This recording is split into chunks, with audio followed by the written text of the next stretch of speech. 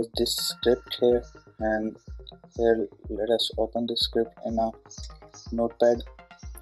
Uh, here you can see that this is the fine script but whenever I execute it like this this will give me error syntax error which is at line number 8 here we can see that there is nothing in line number 8 let's suppose we just remove the line number 8 then after that we will try it again and this error will become syntax error. Uh, let now let me show you how to resolve it.